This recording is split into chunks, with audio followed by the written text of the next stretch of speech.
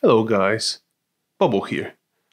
After my last video, where I briefly mentioned the well-known HEMA instructor, one commenter told me that I should be prepared with better ammo if I'm going to criticize a HEMA expert. So, I wondered, what exactly is a HEMA expert? That's a good question, don't you think? I did some research, and it turns out there is a shit ton of literature on what constitutes an expert. Generally, because the word is used colloquially, and scientists are not very happy about it. So they've developed multiple ways to classify and define what an expert really is. Now, I won't be using any of those, but for the purposes of this video, I've tried to boil them down to a handful of prerequisites, which I think will do the job. What is an expert? First, a person who has a vast amount of knowledge and skill in a particular area. Second, they have a proven track record in applying that skill and knowledge in that area. Third, they work on deepening their knowledge and skill in the area. Fourth, they're transparent about their knowledge and skill and the limitations of them. And fifth, they share them openly. Now, you can argue with that definition, but I think it's a good, if a relatively rough one. And according to it, I can definitely name plenty of people in HEMA which I would call experts in one aspect or another.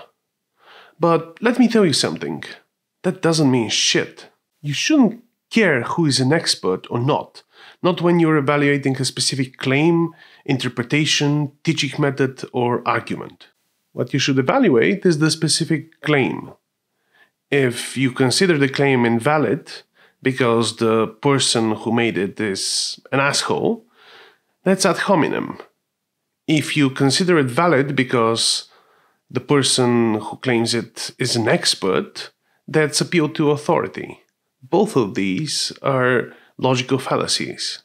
And since you're on the internet, I assume that I don't need to explain what the logical fallacy is. Now, this video could end here, but I don't like to leave it unfinished. So, let's dive in with an example. In a recent article about swords in 133, Roland Warzecha claimed, and I quote, While there are shorter medieval swords as well, very long and tip-heavy swords with a blade length of 85 to 95 centimeters are by no means an exception. In fact, they seem to have been the standard. Let's examine this claim. Now, medieval swords is a pretty wide range. Generally, the medieval period is thought to be from the 5th to the 15th century, roughly. However, since we're talking about swords in 133, we should assume that the Warzecha means specifically swords around that period, and that manuscript is dated in the first half of the 14th century. It's a bit confusing because he connects a handful of different articles, but in the end we understand that he is basing that hypothesis on four swords. Half of them dated quite a bit earlier. Let's keep in mind, this is a claim based on four swords. Four. Do you know how many medieval swords are there in museums around Europe? Thousands, making a claim on what a standard length of an arming sword was, based on just four examples, is frankly a bit ridiculous. Do we know what the actual average length of a typical arming sword in the 14th century was? Yes, we do. First of all, nowadays, in the internet age, we have access to a lot of museum catalogs. Many of the big collections of historical arms and armor around the world are published online. And before the internet age, we had uh, other types of catalogs, paper ones. But more specifically, there was a scholar whose job was for decades to gather sword information, and that was the late Ewart Oakeshott. You may have heard him. The typology he developed is the most common one used today. So, what do we know from his work? Well, arming swords varied a lot. There are some which are as short as 66 centimeters of blade. There are some which are as long as 103 centimeters of blade, almost as long as some rapiers. However, the vast majority of swords are between 75 and at most 85 centimeters long. There is this type of sword which was quite a bit longer than other arming swords. Oakeshott terms it Type 11. It's generally a narrow blade, very slender, and specifically they are quite often over 90 centimeters of length, blade length. Of course, there are examples of Type 11 swords which are 82 or 85. One of the swords Warzecha gives as an example is a Type 11. Yes, Type 11 swords are typically longer. But Oakeshott himself says that he would not date any of them later than 1125 or 200 years before 133.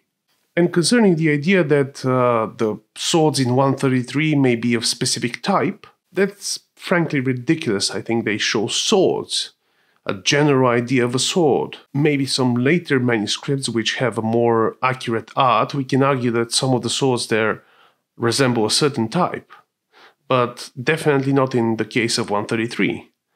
And Oakeshott actually addresses that.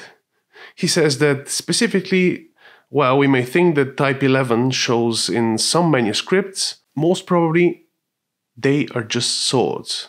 But if we look at all the other common types, their average blade length is about 30 to 32 inches or 78 to 82 centimeters, which accidentally reflects the most common length of HEMA arming swords that you can find on the market today. Now, does that mean that you should only use average swords? No. I think that when you have the money and you want to buy more swords, you should definitely get a shorter one or a longer one or both. But if you're just starting out, it's a very good idea to use average sort. In conclusion, evaluate the claim, not the person.